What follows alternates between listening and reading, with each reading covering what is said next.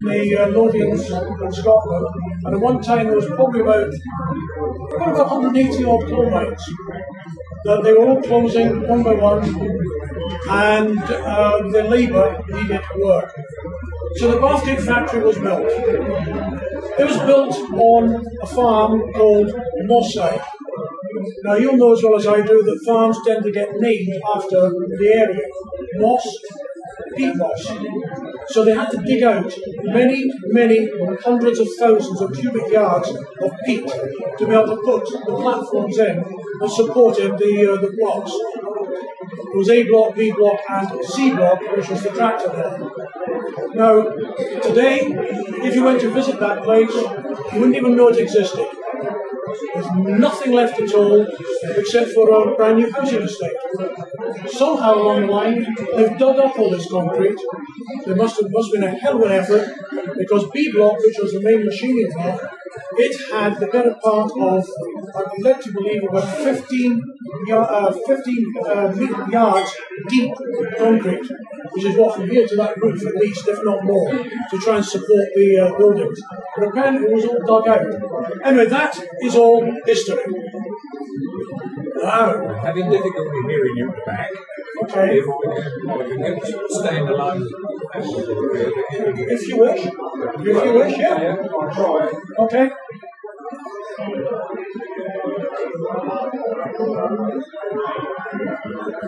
British Leyland, my God, does that bring back memories? It was evolved through the merging of British Motor Holdings and Leyland Motors. 54 separate companies. But just think about that. They're not just small, fiddle little companies, but companies like Land Rover, Jaguar, Leyland Trucks, Guy Trucks, Scammell, BMC, Austin uh, all companies, Evelyn Murphy, Pressed Steel Fisher.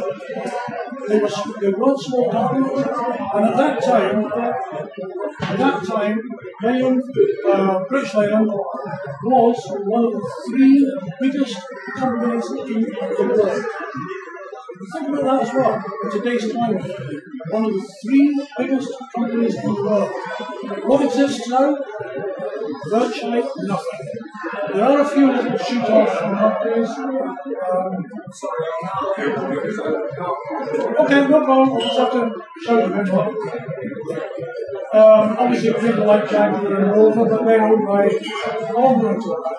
know that. So, British Leyland came on the scene, and we had to do something about it. So, the first thing they did was they designed a new of tractors. Leylands. Now, before the tractor was launched, and this is just about when I joined the company, I wasn't involved in this, but I was there somewhere.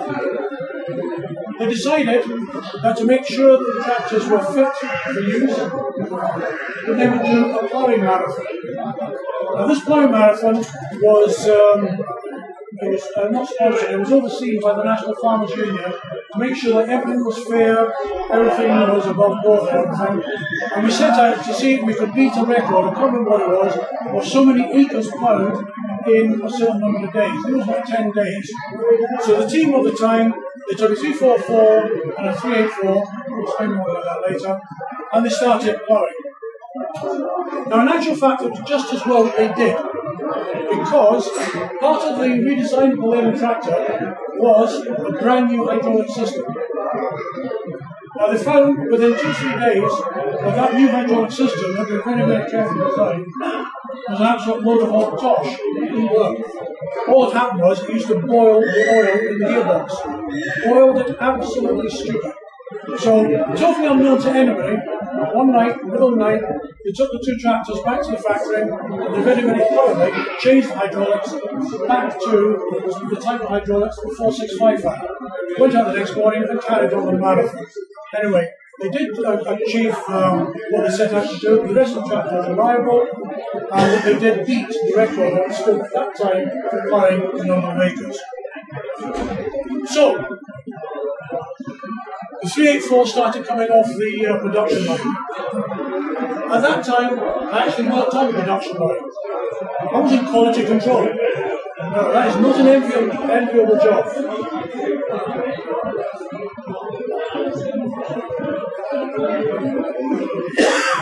Quality is a very subjective thing. You'll have a price cow or something. Some people like it, some people won't. Some people will see something on a tractor they think is wrong, others won't. I must admit, I was a bit of a stickler, and I was in that job for the better part of a year. Then I moved on into training. But back to the tractors. 384. Now, the numbering system on the Leyland tractors, they always meant something. The 3 and the 8 was the 3.8 litre engine, and the 4 was the number of cylinders. So it's a 3.8 litre four cylinder engine. We also had the 344. Now you may remember that one of the Nuffields had a three-cylinder engine the 342. Not the best of engines, but they decided that when we went onto this um, new range, that they would redesign it, have a four-cylinder engine, two different horsepower. And that's what we did. The instrument panel on the tractor remained very, very similar to the 465 with a few modifications, uh, mainly to help try and keep water out, because the 465 did a nasty habit of steaming up with water ingress, and it wasn't very clever. The other main thing was we moved the tank. Now, very, very few people will know. It's a bit difficult to see from where you are, there's an indentation there, and there's an indentation there. I bet none of you, none, not one of you here, can what those indentations are. Come on then. Spot on. If you take that tank, swivel it round, tip it on end, it's the old 465 tank. Those were the recesses for the 465 headlights. So there you go. I said the engine, redesigned, much better than the uh, 345 engine, the 465, the uh, 345, 345 engine, mainly because it had a balancer fitted which made it a very, very smooth engine. Most tractor engines these days, four cylinders, have all got balancers in them. It was so good that you could actually take, in those days, the old property bit, about 50 pence nowadays, you could sit it on the top of the rocker cover, run the engine at full speed, and it would just sit there. If you tried that on the old engine, it would just shake straight off and fall into, onto the ground. Now, at that period of time, we were supplying uh, skid units to JCB. I will mention more about that later. But Joe Bamford, in his wisdom, decided that he wasn't going to have the extra cost of a balancer in his engines. So he took that engine without a balancer. And of course, people who had JCBs found that the engines fell out of them. It's purely due to vibration. So of course, a JCB engine, skid unit, equals. No, not quite, but that's what they thought. So they stopped buying Leylands and said, well, damn engines are exactly the same as the old ones. They shit themselves to pieces. But of course, alongside the 384 and 344, we've got the 154. 155 four cylinder. Now, in essence, it is very, very similar to the old 425, which I had in its origin before that, the Mini. Very, very few changes apart from the car, and maybe a bit on the grill at the front. That was about all. The 154 had this, what they call three linkage um, hydraulic system. No draft control as such, no position control, it was just up, down, and hold. But, I'm just take my word for it, I can't prove it. We did actually one day plough with one of these 154s from the three furrow reversible Ransomes, TS, whatever plough. The way it works is very, very simple. You've got brackets up the uh, axle, on each side, with those holes in it. And by lifting those lift arms up, leading down towards the plough, as you drive forward, the very physics of that means that you pull you're actually going to the road. That's basically how it works, and that's how you got the grip. The steeper the angle of the linkage, the heavier the plough, the more grip, the bigger the plough you drift to plough with. Now that tractor was very, very successful right through to the end, never really changed much. But the only changes we made to it was that we fitted a uh, petrol engine, that was mainly for the United States. And we did export many, many of these 154s to the United States. We also sold a lot of them to Australia. Why it? Why made of Plymouth in Australia? Very simple. They built them into, my term, a mini JCB. They've got a back actor on them, front digger on the front, and the reason they were so successful was because they could actually lift them off the street, over the top of the house, into the back garden, and do swim So that's why they were very, very successful in uh, Australia. Now, in 1971, the law of the land changed, and we had to start fitting safety caps. Well, okay, the law said to have safety caps. So from a safety point of view, they were absolutely correct. The number of accidents with rollovers, etc., the, uh, the drivers needed some form of protection. The only problem was the noise level inside these cabs was a lot higher than it was if you had no cab at all. It was very, very easy to register 104 decibels in that cab. 104 decibels is above threshold pain. Along the, uh, the where, where the training centre was up we had 150 acres of land, and we used to uh, work that land commercially. The only things we hired in were things like combines to do the harvest and everything, but everything else we did ourselves. And working for a full day in one of these tractors, you had to have earplugs. They really noisy. But then again, city cabs, all manufacturers, were probably all equally noisy. Now, that particular tractor you saw there is the 253, 2.5 three cylinder. It was brought into being because somewhere along the line we were losing sales to the likes of the 135, the Dexta, and various other small uh, tractors. So, looking around, what was the most common engine in there, or highest selling engine? The Perkins three cylinder. So we put this uh, tractor together with a Perkins three cylinder engine.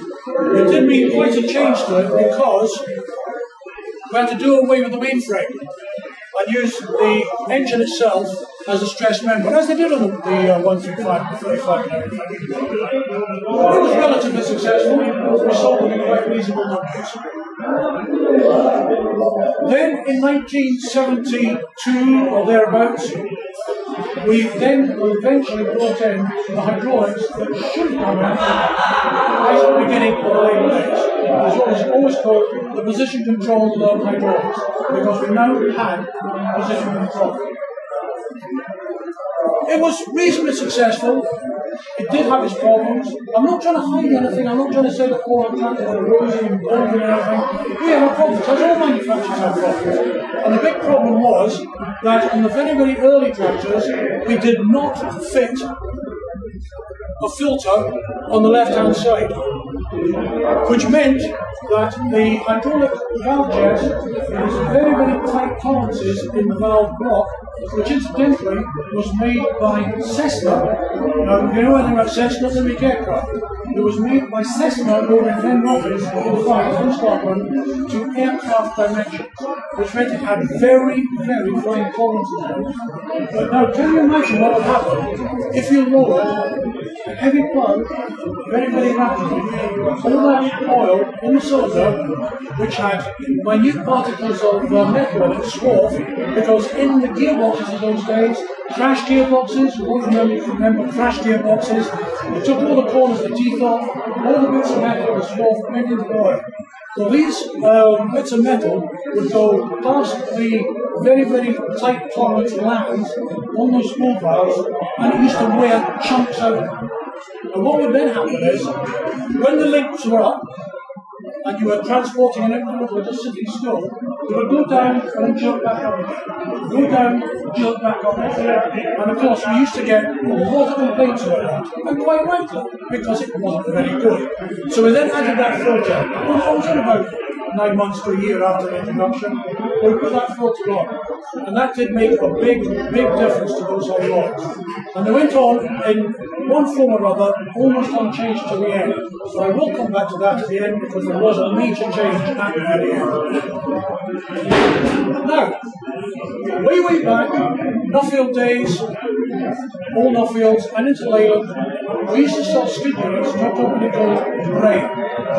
Bray four-wheel drives. Now this particular tractor is one that um, Chandler's up at uh, Preston bought as a, basically a scrap base on a pallet completely rebuilt it using a lot of new parts, uh, remachining various parts, and making it into a genuine, not a Leyland Bray four-wheel drive.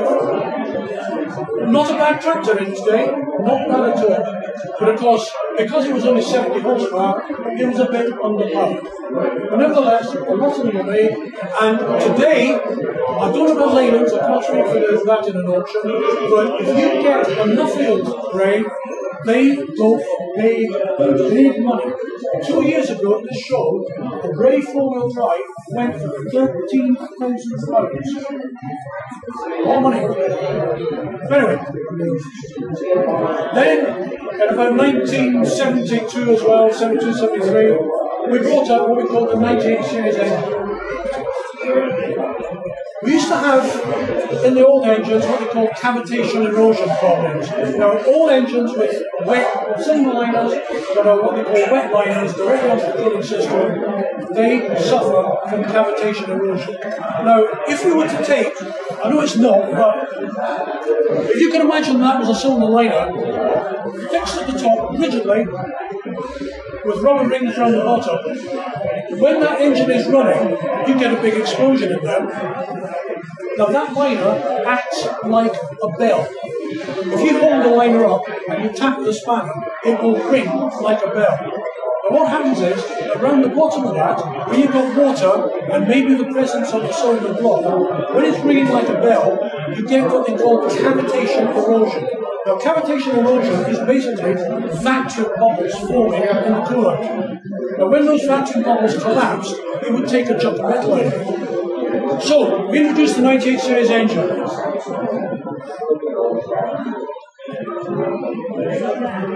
which had many, many improvements. The 98 comes from the diameter of the bore, 98 millimeters. Was the original 384 and 344, it had 100 millimeter bores. So in that way, we thickened up the walls of the cylinder. But we also increased the length of stroke. So the capacity of the engine was the same, the power of the engine was roughly the same, but reliability was much improved. Then, round about that time, we changed the numbering system. 270, from 384 to 270, from 344 to 255. Now the uh, numbers again, two, number of wheels driven, two wheel drive, 70 horsepower. So 270, two wheel drive, 70 horsepower, and 255, two wheel drive, 55 horsepower. Very simple. And again, we continued with the um, safety car. And at the same time, we introduced the six on the range. We were desperately needing higher horsepower tractors. We had a good engine, 698 engine. We developed a tractor around it. But by this time, the quiet cab laws are coming in, where the cab had to be, I think I'm right saying, 87 decibels or less. Now, the one sad thing about the industry was at that time, and I'm sure it was still the same today, that if all manufacturers could get together and say, look, we're looking at the sound problem from this direction, we're looking at it from that direction, we're looking at it from this direction, how can we pool our resources and make a tractor that is very nice and quiet? But no, we were working in isolation, Ford, Massey, everyone—we all working in complete isolation. So what we had to do, because we could not get the noise level in that car down below about 90 decibels, what we had to do was we had to fit flexible mountings on the engine. Rubber mountings in the front, rubber mountings at the back. And that was very, very successful because it killed the noise. Most cylinder tractors were very, very quiet. But it wasn't the most successful tractors. Some people loved them, some people hated them. The problem lay in the fact that you had a flexually mounted engine and a rigidly mounted gearbox, and you had a rigid shaft. But nevertheless, it was not a bad tractor.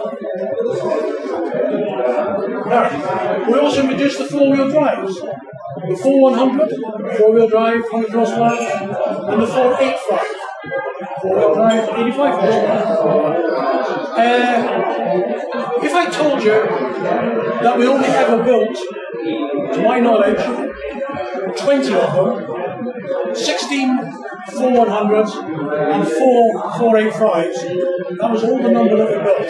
So therefore any that exist are extremely rare. There is another one, there is a 21st tractor, and again I will show you that later. But that particular tractor is it's a, I put it? I was going to say unique. It is unique. That tractor lives in Finland. It was not sold to Finland, it was sold to Norway. The chap over there, they recently imported it from uh, Norway into Finland, and he's managed to get the thing registered as well. I helped him on that. Registered in Finland for road use, and he's very, very pleased with it. Now, the configuration of that four-wheel drive was not unusual at all. At that time, most manufacturers relied on independent uh, suppliers to build four-wheel drives. County, Roadless, and various others. Now, on this particular tractor, probably not very easy to see this, the rear axles and the front axle was 100% County. Totally County. And what we did was, we would assemble a gearbox, an engine assembly, and then we'll send that down on a little pallet by truck down to Fleet in Hampshire. They put the axles on, front axle, rear axles, then put it back on the truck again and shift it all the way back to Bathgate again before we finish it off. Now you see, there lies one of the problems that we had at Bathgate. The physical moving of material from one end of the country to the other. We had hoped that when Bathgate opened, because bear in mind they built trucks as well, it was a very, very big factory, and at the height of its day, the sort of middle uh, 70s, we actually employed 4,500 people there. Now, that's not a mean workforce, but virtually everything got moved from the Midlands, up to Bathgate, and back down. Don't forget the tractors, the castings. Most of the castings were made in Wellington. Most, some of the other castles, like the engine blocks, they were made in uh, Coventry. So they were taken over train all the way up to Bathgate. Madness there, isn't it? But that's the way it was. We had hoped that the um, industry in Scotland would make parts for us. Now, we were reasonably successful as much as all the wheel weights, all the front end weights, they were made by Caroline Foundry at Fulton. So they didn't have to travel too far. All the connecting rods, all the crankshafts, they were all stamped by Scottish metal stamp and air, and Ayrshire. So again, there was some local contact, but all the electrics, Lucas and all that stuff, all the fuel injection stuff, that was all brought up from down south. So there's another problem. In the 70s, labour relations in the British industry weren't very good. Now, we weren't immune from Bathgate, and again, more about that later. But we were very, very dependent on us Lucas working. When Lucas didn't work, it meant that we couldn't get starters, alternators, or anything of that nature. So what we would do is we would build, we, we instigated a quality control procedure that said the tractor was complete except for. the Right? The tractor was complete except for. So I said to my foreman one day, I said, okay, there's a bolt. Is that tractor complete except for everything else other than that bolt? That was just a joke. No, remember, we had to build tractors without starters, without uh, uh, few injection even, throw them out to the yard, chop them up, then when we got the parts, bring them all back in again. It's all money. It's all money. We sat down in the office one day and we made a very, very rough calculation. Now, bear in mind, this was about 1972, 1973, that in those days we were spending the thick end of three million pounds a year humping material up the road and humping it up down the road. Now that is an on cost in production that no company can stand. Now there's the training centre. I, I started off in uh, quality control and I finished off in 1982 as the training manager of that tractor training centre. We had a full uh, farm, 150 acres as I mentioned. We kept all our demonstration tractors there. We had a demonstration truck, as you can see there with a uh, beaver tail trailer. And we had this training unit. It was an old bus. Now again, here's a piece of history for you. I don't know whether anybody can ever remember, way, way back in the 60s, British Leyland sold the loaded bus chassis to Cuba. One shipment of those bus chassis never got out of the Thames. The boat sunk. The boat sunk. It was retrieved, the chassis were retrieved, and they made a whole load of these training units out of them. Now, they were basically uh, uh, support vehicles for the BMC um, rally team. That's what they were built for. But Leyland Trucks had as a training unit. We had one as a training unit as well. Now, the reason I'm mentioning this is because if you look at the back of the vehicle, it's actually got a front windscreen in the back. Now, that that makes for some very, very interesting driving down roads. Because what you do is, driving away down the road, they're all left-hand drive, you're driving down the road, you get one of the apprentices in the back with the steering wheel, sitting on a seat in the back, like this. They're not frightened drivers. Um, that is the only photograph I've got of that uh, training. I did see it about five years ago at but did I have a camera with me? And I do not know what's happened to it. Probably rotted in the ground. Uh, I, it was actually made into the mobile home. Somebody did buy it and made it into a. There, we- there we are. We get lots of questions. Did Leyland ever produce yellow tractors? And the answer is very, very much yes, we did. We built the whole range of tractors as yellow, either the um, 344, the 253, and the 154 as well. Because in those days, and naturally, it still is today, if a municipal authority has a tractor for highway use, it has to be painted yellow. But you don't see many tractors in municipal use in highway use. And that is because if it is an outsourced contract, they don't have to be painted yellow. Just the way it is. But yes, they were highway yellow is the name of the car. But because of the way things were, we didn't change the decals. We didn't change various blue parts, so it was a mixture of blue and yellow, but it was enough to, to uh, satisfy the law. Now, mention JCB. In 1964, 65 or thereabouts, when Ford moved their production from Dagenham to Basildon, JCB went to Ford and said, we need X number of skid units. But Ford, for whatever reason, were not able to supply. So, as things happen, BMC, as it was in those days, had the capacity to produce skid units. So we started in round 1965 to produce skid units for JCB. And that went on for many, many years. And we did produce many, many thousands of these skid units. That one there is not a standard mechanical gearbox. It has got a Brockhouse torque converter in it. And again, many JCBs will supply with Brockhouse torque converters. Four forward, four reverse. And a very, very simple mechanical gearbox, with most of the gears taken out, with just four forward gears in it. And the torque converter itself, it will reverse the drive or forward. Then in 1976, Q-cab laws came out.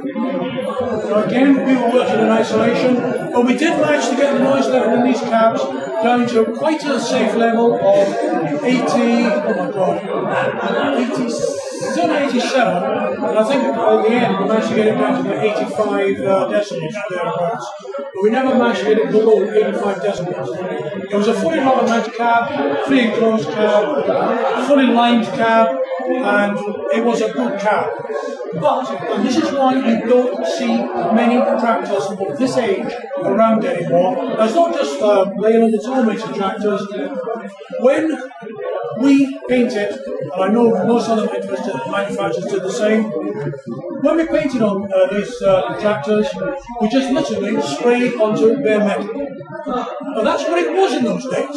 We just sprayed onto bare metal because no one would damn things rusted. But of course, tractors, they live outside and water gets in and they do rust quite, uh, quite heavily. But around about that time, around about 1976, we changed the decals. We changed it to silver just to sort of bring it up a bit.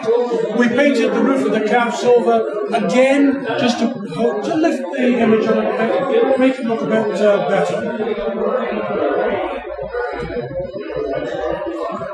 And at the same time, we revamped the power takeoff. All the way through the Nuffield days, all the way through the early Leyland days, we had this design of power takeoff engagement where we had a sliding It worked very well when it was adjusted properly. But what would happen is people would try to put the thing into PTO without properly disengaging the clutch. So of course what happened was the tune got chewed up, the teeth on it got chewed up badly. I was giving a presentation in front of 350 farmers. I'm not saying what it was, and I'm doing, I'm doing a talk, like I'm doing this now, and this guy comes wandering in, waving his power takeoff shaft full length PTO shot, he was going to wrap it around my neck. But fortunately, he was well known for being a little bit um, noisy, and all the rest of the farmers there were very, very good ones. They grabbed him and sat him down. And it was just as we were introducing this new system, which in actual fact was very, very good because we had a very, very simple dog collar to engage our takeoff. The hydraulics were running continuously. As long as the clutch was engaged, the hydraulics ran continuously. But the benefit of that it meant the hydraulics at all times were pumping oil through a micronic paper element, which meant that the gearbox oil was all the time being filtered. And that improved the hydraulics. I don't have much hydraulics. That improved it because remember I said before about filter them fitted? There was a bypass in that filter, and if anything got clogged up, the bypass opened. So it did help immensely. That was a very good system. 1977, Queen's Jubilee. We built two tractors. Jubilee tractors, two seven twos. Now that particular tractor, the one you see there, that went to Finland. It is the Finnish specification where it's got white mud wings, white tyres, different battery on it, a block heater so they can plug it in overnight and start the battery in the morning. It does tend to get a bit cold there. And it's also, you can just see it, it's also got the roof hatch. Because in Finland, during the winter, you've got to go across lakes. It takes far too long to drive around the lake, there's so many of them and so big. They just drive straight across the centre. And the law in Finland is that the tractor must have a quick release escape hatch. So you can imagine you're way ahead of the hill, then it goes through the ice, the farmer can get out very, very quickly. Flip the hatch off, goes back all over, he's out. Okay? Now that tractor is still in existence. I know where it is. The owner of the tractor will not divulge where he lives.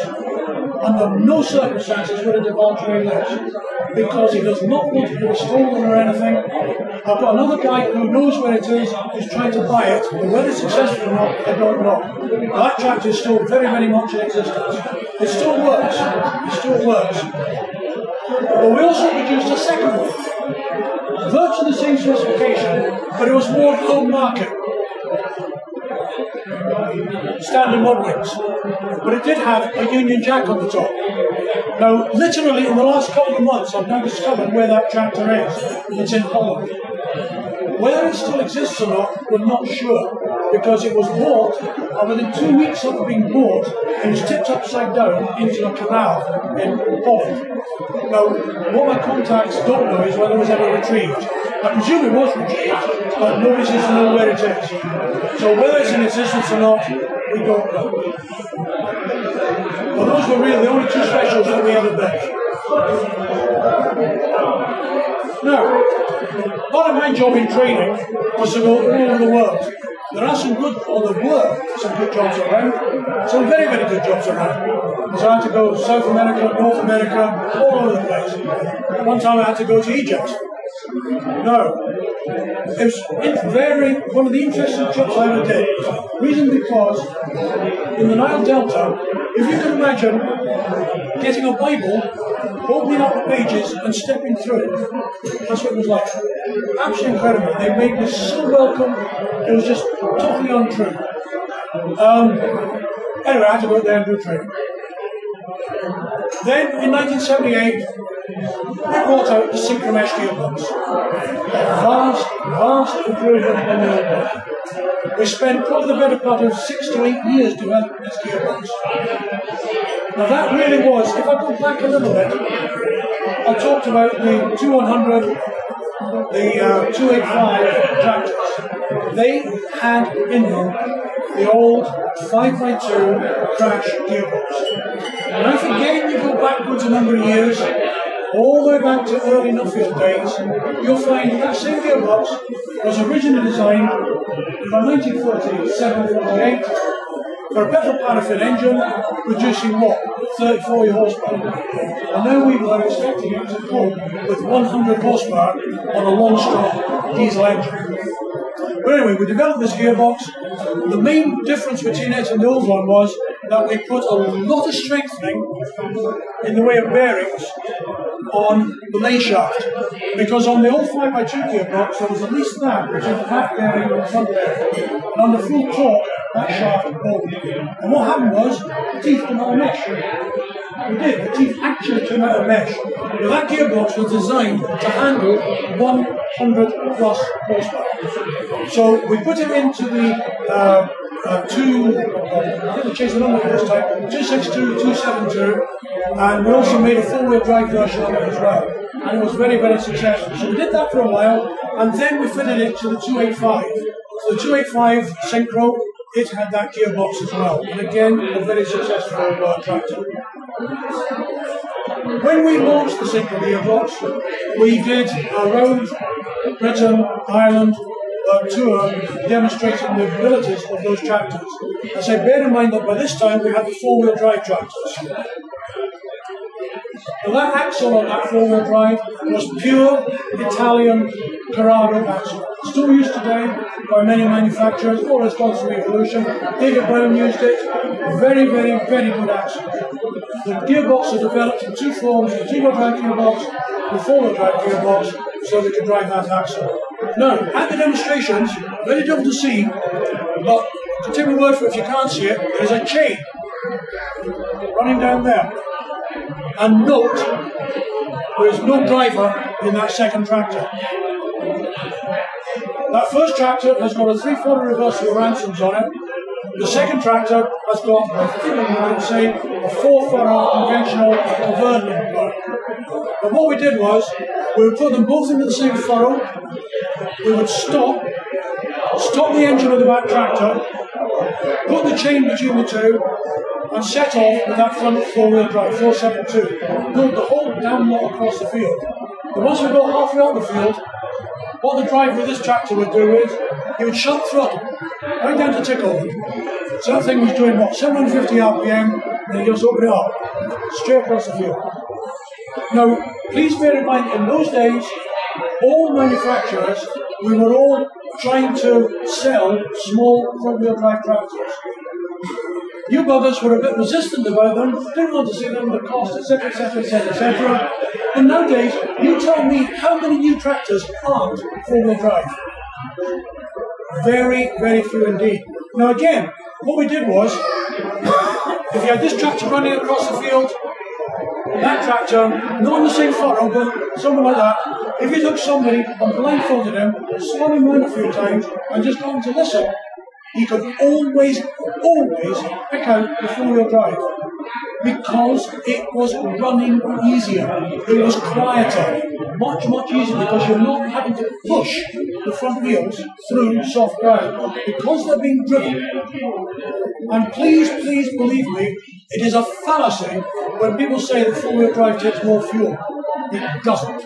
Yes, there are a few uh, frictional losses in the drive system, but all in all, because you're driving these front wheels, they're much better. And we used to find that the four-wheel drive, with the same plough on the back, working in the same field, would use at least one to two gallons less per day.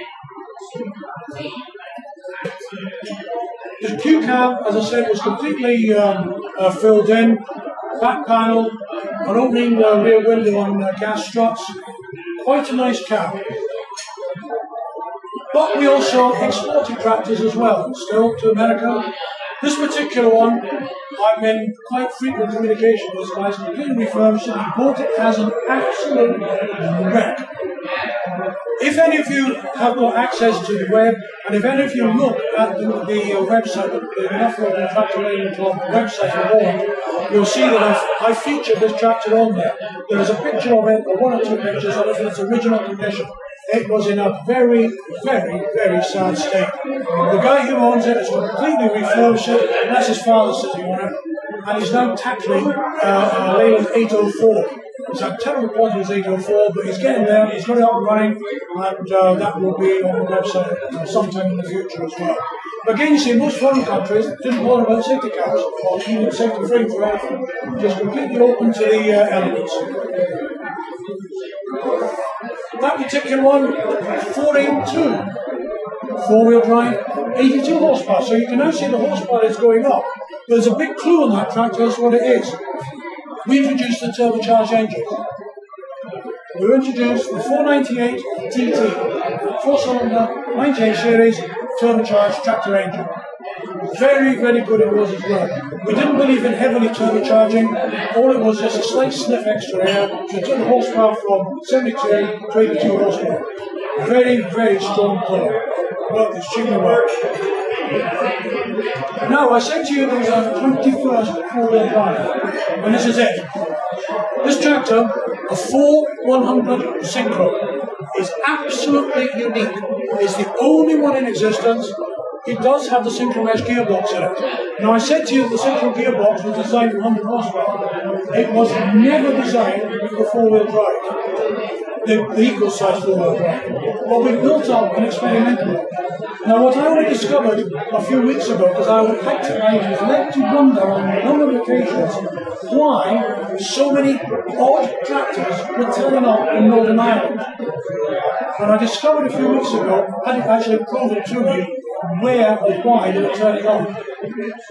When Bathgate finished, there was a supply, quantity of experimental tractors, and they, I thought they'd all gone down to Marshalls. I was convinced, I was one time they'd all gone to Marshalls, but they didn't. The deal was done with uh, King McPherson over in Northern Ireland, and they all went over there. And this tractor was actually owned by Hunter Kane for a long number of years, and it is still working. That tractor is still working. Dual wheels, the single gearbox is still working together. Yes, it's had a problem. It chewed all the, didn't chew, it sheared all the, uh, the bolts in the differential. But when the guy who owns it took to pieces, he discovered that somebody at some point put the wrong bolts in. So it didn't have factory fit diff bolts in it. Put the right ones in, and it's been there ever since. So it proves that that single gearbox has been an exceptional gearbox. 285 Synchro, I mentioned that. Very, very good tractor. We sold a lot of it. But what we didn't do, we didn't sell, not many anyway, the 2100 Synchro in the British market, mainly for export. Purely because in East Anglia, particularly these boardwalks and things, um, are now starting to rise even more. Um, it wasn't the best tractor.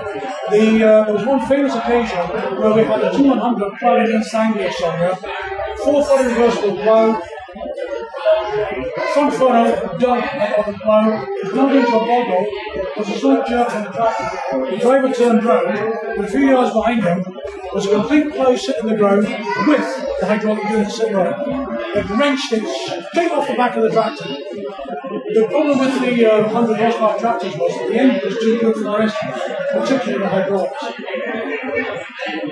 Now, there is an export 200 Synchro. Again, that was in Finland, and again, it's by that guy who owned the previous um, uh, 4100. He only bought it a few months ago, and he's planning to uh, refurbish it. Most 4100s, um, sorry, uh, four, yeah, 200s and 400s should have had the cast iron wheels. So that tractor sometimes has had non-standard uh, wheels to it. Now, in roughly 1979, the law in Finland changed. And that law stated that all tractors had to have cabs on them that were below 85 decibels. Now, I mentioned to you before, we got ours down to 85, but we couldn't get it below 85. So, if we wanted to retain our market in Finland, which we wanted to because they sold a lot of tractors, we had to source a new cab, and that was the uh, Danish uh, Sekura cab. So that Sekura cab was fitted. Now again, that tractor there, it was the subject of an article of the classic tractor magazines, I think last year or the year before. That tractor found its way to Ireland, and it was one of these experimental development tractors that went over there. It's nothing wrong with it at all, very good tractor, guy owns it. The only problem is it's got the um, the wings aren't quite the right colour because he thought they should have been white. But in actual fact, the wings of those uh, should have been David Brown colour because the initial cabs that were used were David Brown cabs. And also, I bet you didn't know this, goodness only knows what would have happened if it ever did happen. In the in the mid 1970s, we, Leyland, were going to purchase David Brown at uh, Meltham. It was utterly and completely and totally denied by those to be. But we know this true because in the tractor trade there's a lot of intro. We would talk to guys in all the other companies, talk to David Brown guys, no problem. This guy from Midland and says, what the hell is in your uh, director's doing here? So we meeting guys, and that's what it was. But it didn't come about. What would have happened if it had, I don't know. Because at that time, we also, as part of the merger, we owned um, and Belton. Now, Belton made implements, plows, seed drills, uh, cultivators, uh, brush and all sorts of them. So we could have had quite a nice little unit, tying up David Brown tractors with Leyland tractors, uh, range of implements. Anyway, it didn't happen. Now, this is, and I'm going to please use the word in its correct dictionary form, this is a bastard tractor. I'm using the word in its dictionary form. It is a made up tractor of, of yellow Leyland 804, a 285 six cylinder which got burnt out, and this guy up in Fife has put the two together. It's a six cylinder engine, rigidly mounted in the six cylinder frame. The six cylinder frame comes down and it splays outwards to the outside of the axles.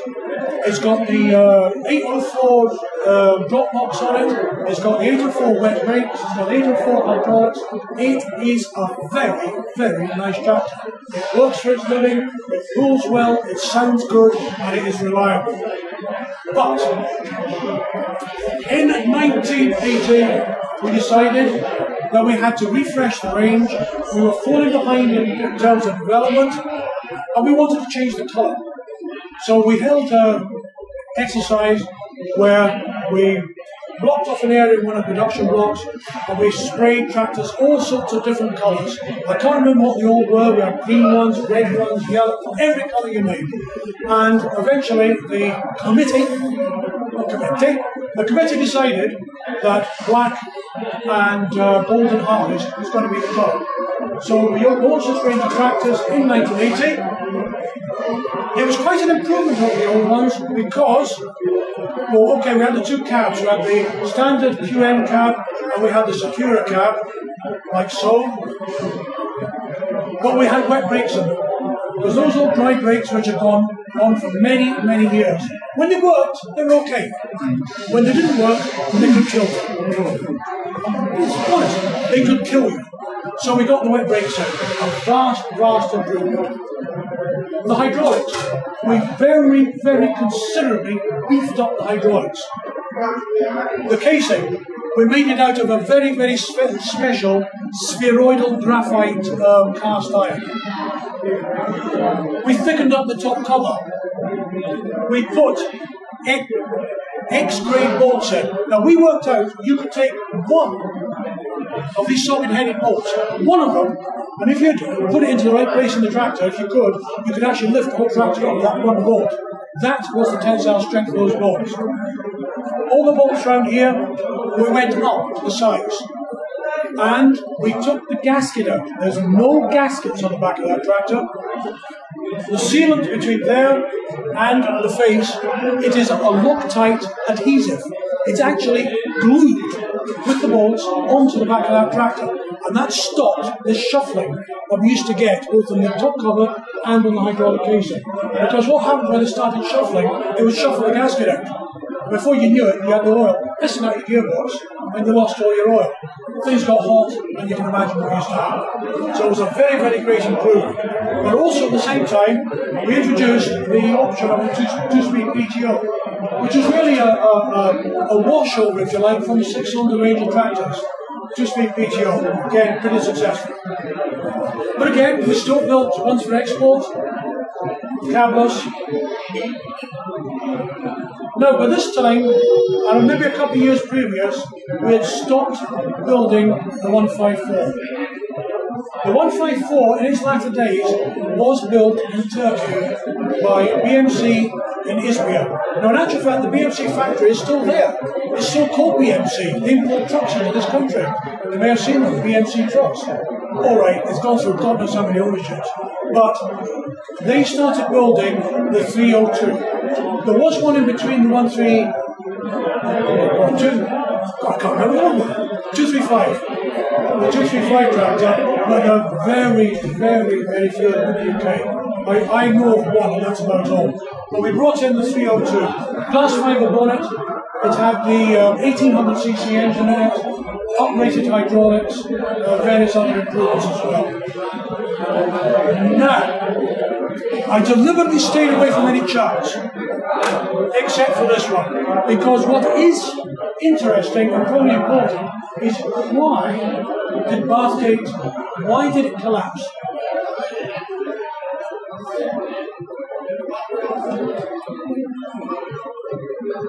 In 1973, we built 18,766 built-up tractors and skiders. It was a very viable number. We could make a profit just, and everything was going well. We even put a night shift on to try and meet uh, production. Then, 1975, we're okay, but then we started coming down. And of course, we know what happened around that era. The winter of discontent. Three day weeks. Every second night was taken out of the factory. Every second night was taken out of the um, uh, offices. We were all on a three day week. And then, in 1979, Joe Bamford decided that he wasn't going to use our skid units anymore. Quite right, because the JCB of that era if you wanted to do a gearbox overhaul, you basically had to take the entire top off, drop the skid unit out, and work on it. He wanted to have a separate engine, separate gearbox, separate back axle, which is still not today. So he stopped taking our skid units. So you can see what happened. Almost overnight, we halved our production. Now that was the killer stroke. That was completely a killer stroke. Okay, JCB started, well, continued taking our engines for a while. I mean, for a couple of years he took our engines, and then he went on the Perkins engines. In 1981, I, I, mentioned earlier on that labour relations weren't very good. Labour relations at Bathgate regrettably came to an all-time low. The factory only worked for about 13 weeks in the entire year. If you take all your statutory holidays, your Easter break, your summer break, etc., etc., the rest of the weeks was about 13 weeks production. At the end of, sorry, if we go back here, we were probably building, I think, about 84 tractors a day. Something like 84 tractors a day. Down here, we are building 45 a week. We went right down to 45 tractors a week. Do you remember Michael Edwards, the boss of British Leyland? He organised a meeting down in London for the shop stewards. Now, I'm not going to make any political statement whatsoever. He got the shop stewards in, and apparently the meeting lasted about four minutes flat. And the meeting apparently was extremely one-sided. He stood up in front of these guys and says, right lads, either you go back to work or I close the factory.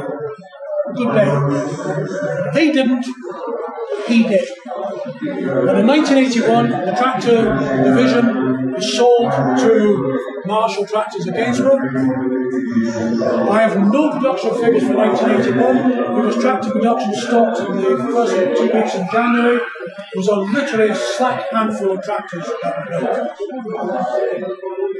So, I had the enviable task of being given a pile of computer sheets, like so, and having to reconcile 600 odd tractors to find out where they were, what happened to them, what ones were going to Marshalls. And these are the ones that went down on the train to Marshalls. Now, that really is the end of the Leyland era. But of course, Marshalls took over and they soldiered on for a while. They designed the uh, 100 range, two-wheel drive and four-wheel drive. They put the Perkins engine in because they, in 1986, Bathgate completely closed, so therefore uh, Marshalls had no access to Leyland engines anymore, so they had to resource engines and they put Perkins engines in. And then Marshalls themselves Gainsborough went bust, and production was moved under the uh, Bentall uh, head. They, the Bentalls bought them, Thesis and Bentalls, not quite sure of the order. And the whole lot moved to Scunthorpe. They soldiered on for a few years, making the odd Marshall tractor. Then they diversified into uh. They brought Steyrs in, and the company name changed to Marshall Steyr. Uh, sorry, sorry, Marshall Daimler, Daimler Marshall, I can't remember which it was, and they imported these tractors until finally, in about 1986, or thereabouts, no, 1888, the company was completely dissolved. Now, at that time, and in those intervening years,